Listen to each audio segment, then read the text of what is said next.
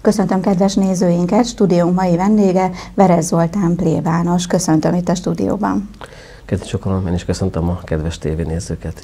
Plébános úr, a falsangi időszak végeztével a, a végén február 10-én került megrendezésre itt Karcagon az első keresztény bál. Erről beszélgessünk egy kicsit. Hogyan értékelte ezt a bált? Hogyan sikerült ez az este? Hát még túl kevés időt telt el, hogy igazából értékelje az ember, de azt gondolom, hogy alapvetően az első visszajelzések alapján, meg a részvételen is ugye azt tapasztaltuk, hogy nagyon jól sikerült rendezvény volt. Láttuk a képeket, illetve akik ott voltak, azok érezhették is, hogy nagyon sokan mentek el erre a bárra. Igen, a nagy várakozással volt mindenki, úgy gondolom, mert nem volt még ilyen, ilyen nagy szabású, és hát először, amikor én megterveztem, és elmondtam a kollégáknak, meg ismerősöknek, mindenki kétkedve fogadta, amikor mondtam, hogy 300 főről indulunk. Kevesen hittek benne, hogy ez a létszám összejön. A 410 az szerintem még, még sokkal kevesebben, szinte senki nem gondolta. Talán egy negyedül sejtettem, illetve még, még reméltem, hogy ez körülbelül ez a létszám összejöhet egy ilyen nagyszabású keresztény bánál. Alapvetően mi beszéltünk ugye előtte a, a célokról, hogy miért is van kereszténybán, mik az elgondolások, az a foglalkozás elérte a célját, alapvetően szokták mondani. A terv az volt, hogy kulturáltan, igényesen, a megjelölt farsang időben, a farsang végezetével lezárva hogy ezt a farsang időszakot, mi keresztények is mutassunk például, hogy hogyan lehet igényesen és kultúráltan szórakozni. Én azt mondom, hogy ezt mindenki ezt érezte és tapasztalta, és ez tényleg így volt, hogy ezen a bálon az a 410 ember tényleg a karcagon minden különböző társadalmi rétegből érkező vallású emberek voltak, akik ott ér, jól érezték magukat, és az ez volt a fő cél, ez volt a lényeg, hogy tényleg vidám volt mindenki, lelkes volt mindenki. Um, ahogyan szerveztük, azt éreztem, hogy mindenki támogat, és ez a legfontosabb, amit én úgy valakinek meg is fogalmaztam, hogyha ha alázatos munka van, és uh, uh, isteni áldás van rajta, akkor a támogatások is tényleg tömérdek módon jönnek is, hogy mindenki oda tette magát. Nyilván nem akarok kiemelni senkit, és mindenkinek köszönjük a támogatását, de úgy érez, érződött, hogy, hogy a várostól, az egész városban mindenki, mindenki úgy, úgy, úgy szurkolt ennek a történetnek, úgy gondolom. Tehát nem tapasztaltam azt, hogy valaki e, negatívan állt volna eleve hozzá.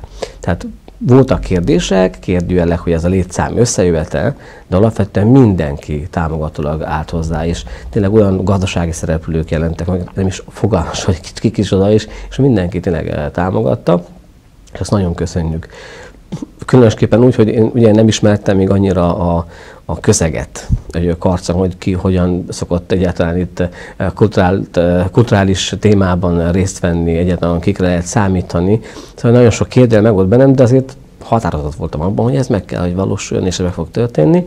Nagyon sokat, eh, egy talán egyetlen egy csapatot emeljek ki, akiket ugye fölkértem, hogy létrehoztunk egy uh, Bálba Babám uh, operatív törzsnek neveztem el, egy kis tízfős csapatot, akik azért a munkának a dandárját vitték. Ugye én, én ugye kitaláltam a dolgokat, hogy mit kell csinálni, tehát az közben azért nekem ezer más dolgom is volt, nyilván csomó mindent én letárgyaltam azért, de ugye az utolsó héten itthon sem voltam. Uh-huh. Ugye Albániában fociztam a papi válogatottal, és közben azért irányítottam a csapatot, de ők tényleg rengeteget dolgoztak, hogy külön köszönhet nekik, mert ők tényleg rengeteg dolgoztak, de nagyon sokan tettek hozzá és segítették eh, anyagiakkal, eh, tombola felajánlásokkal, több érdekben nem tombola, nem is hívtak telefonon, hogy szeretnénk ajánlani, nem is kellett kérni, önként és dalolva hoztam mindenkit. Mm. Úgyhogy én nagyon köszönöm, és bízom benne, hogy eh, innétől kezdve ez, ennek a, a színvonalán nem fogunk tudni, nem, nem kell, hogy engedjünk a színvonalból vége a báli időszaknak, vége a falsangi időszaknak, és a múlt héten, ha jól tudom, szerdán, hamvazó szerdán megkezdődött a bőti időszak. Mit jelent ez a bőti időszak? Milyen szokások kapcsolódnak hozzá, illetve az egyházban milyen liturgiája van ennek? Igen, hát ugye a húshagyókeddel véget ér a, a farsang, és hamatos szerdával meg elindul a nagybőjt 40 napja, ami a vasárnapokat ugye kivéve pont 40 nap lesz valóban húsvétig, és hamatos szerdával egy egészen új időszak van a az ember, az egyháznak az életében. Nagyon fontos a ciklikusság, ugye, hogy minden meg megvan maga ideje. Többször emlegetjük, hogy a, hogy a bálnak is visszatérve még egy mondat erejéig, hogy a, a predikátor könyvéből vettük, hogy ide van a nevetésnek, ide van a táncnak. És ide van a bőtölésnek, ide van a, az imádságnak. Tehát nyilvánvalóan, amikor egy, egy olyan komolyabb, szigorúbb időszak, minden vallásban egyébként megfigyeljük, jelen van a bőjt valamilyen formában. Ez, mint hogy mondhatnánk, hogy természetszerűen, mint az emberi testnek, ezt nyilván kimutatják most már a, a, az egészségügyi szakemberek is, hogy a testnek szüksége van időnként a bőjtölésre, nagyon jót tesz a szervezetünknek, tehát nyilván ebből is ki lehet indulni alapvetően, de nyilván itt másról van szó az egyház és a vallásunk életében. Itt valami, valami olyan fajta előkészületről beszélünk a nagybőjtben, ami a húsvétra, a kereszténység legnagyobb ünnepére akar felkészíteni.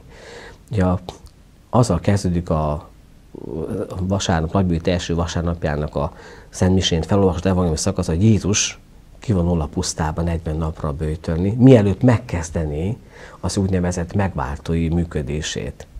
Tehát arra, hogy nagy feladatra felkészüljön, elvonul 40 napra.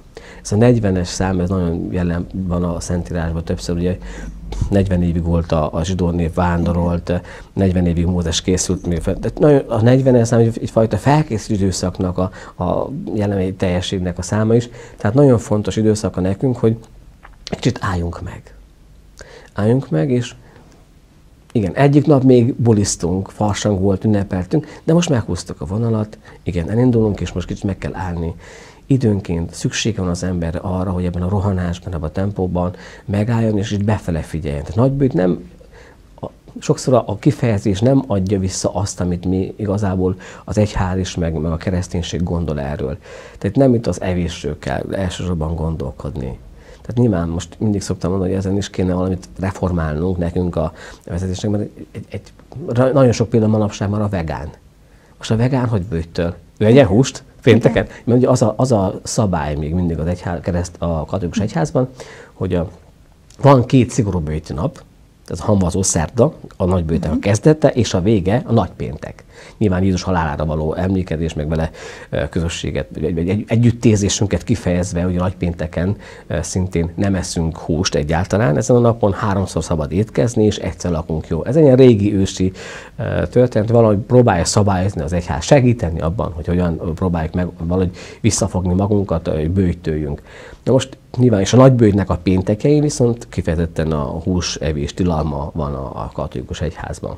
Zoltán atya, köszönöm szépen a beszélgetést, és legyen ez a végszó, amit mondott, hogy hitet és reményt az emberiségnek, ami éltesse őket. Köszönöm szépen. Köszönöm szépen a meghívást.